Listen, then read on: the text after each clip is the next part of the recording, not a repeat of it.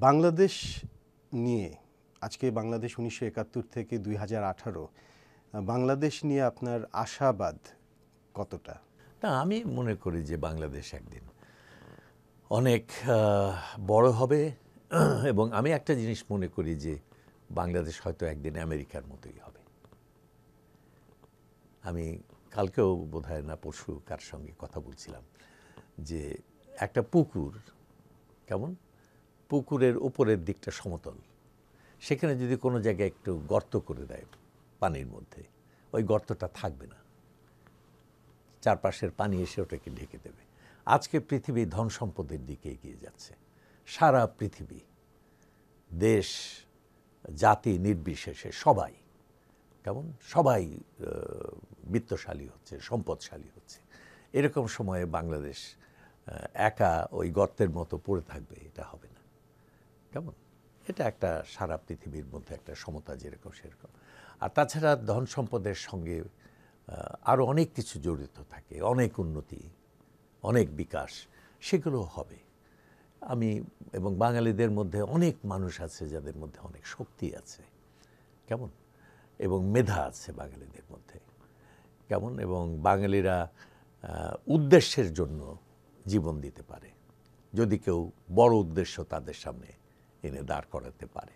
এরকম মানুষ যদি সমাজের মধ্যে, দেশের মধ্যে জন্ম নেয়, যারা একটা স্বপ্নের সামনে একটা জাতিকে দাঁড় করবে, এই জাতিকে দাঁড় করবে, আমি মনে করি যে ইতিমধ্যেই আমরা অনেক দূরে গিয়েছি। একাত্তর সাল থেকে যদি সব ক্ষেত্রে ধরা যায়, আমরা মনে করছি যে কিছু হয়নি হয়নি। এবং সবচেয়ে বেশি এসব কথা বলছে যারা দেশকে সবচেয়ে বেশি লুণ্ঠন করেছে, যারা দস্যুতা চালিয়েছে সবচেয়ে বেশি। যারা অনৈতিক বিবেকহীন মানুষ এই মানুষগুলো বেশি হতাশার কথা বলে। হ্যাঁ যে সেই জন্যই তো আহ, আমেরিকায় একটা বাড়ি কিনে ফেললাম। কেমন? এই দেশে কি থাকা যায়? কেমন? কি দুঃখের থেকে আমাদের জন্ম? সেই কথা তো একটু ভাবতে হবে। তো যা হোক আমি সব ক্ষেত্রে উন্নতি দেখছি।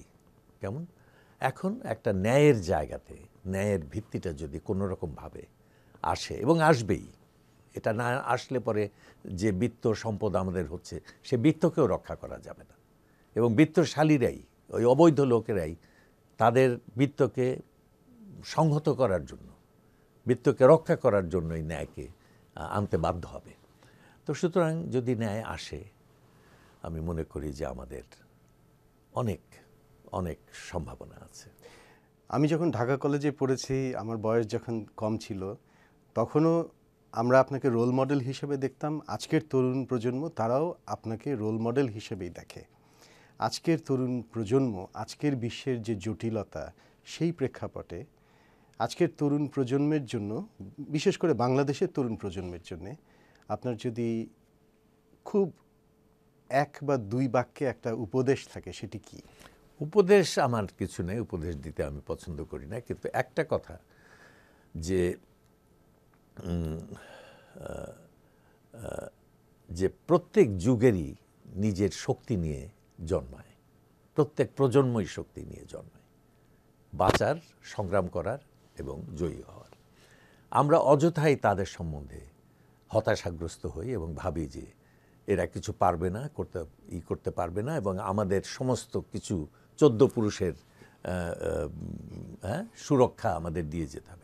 আমাদের ওসব ভাবার দর- দরকার নেই। ওই প্রজন্ম, যে প্রজন্ম আসছে, আমাদের প্রজন্ম যেমন স্বাধীনতা এনেছিল, সামনের প্রজন্ম তেমনি এই দেশকে সমৃদ্ধ করবে। এই শক্তি তার আছে এবং এটা আমাদের চিন্তার বিষয় না। কেমন? আমাদের চিন্তার বিষয় তাদের সুযোগগুলো তৈরি করা। যে সুযোগগুলো আমরা ঠিকমতো তৈরি করিনি, কিন্তু করব। স্যার, আপনি তো বিশ্ব সাহিত্য কেন্দ্রের বহুদিন ধরে বিশ্ব সাহিত্য কেন্দ্র চালাচ্ছেন।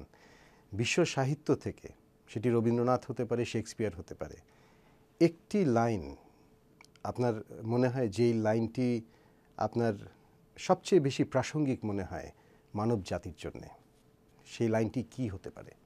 এটা ঠিক ওইভাবে তো আমি কখনো মানব জাতির কথা ভেবে কবিতা পড়িনি।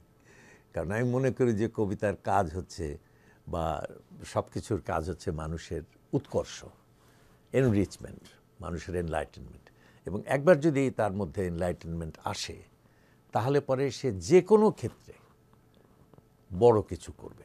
বড় মন যদি তৈরি হয়ে যায়, বড় স্বপ্ন যদি তৈরি হয়ে যায়, তাহলে সে বড় কিছু করবে। অসংখ্য অসাধারণ কথা পৃথিবীতে আছে। এর কথার মধ্যে কোন কথা আমি বলব? কোন কথার কথা আমি বলব? আমার মনে হয় যে সব কথাই সুন্দর। শুধু যদি সেটাকে আমরা জীবনে কাজে আনতে পারি। খুব সামান্য কথা অসাধারণ কোনো কিছুর স্ফুরণ ঘটিয়ে দেয়। কথা বড় হল- আমি ছোট, তাতে কোনো লাভ নেই। চমৎকার। স্যার, আপনি আজকে আমাদের ওয়াশিংটন স্টুডিওতে এসছেন। আমার কাছে এখনও মনে হচ্ছে যে আমি স্বপ্ন দেখছি।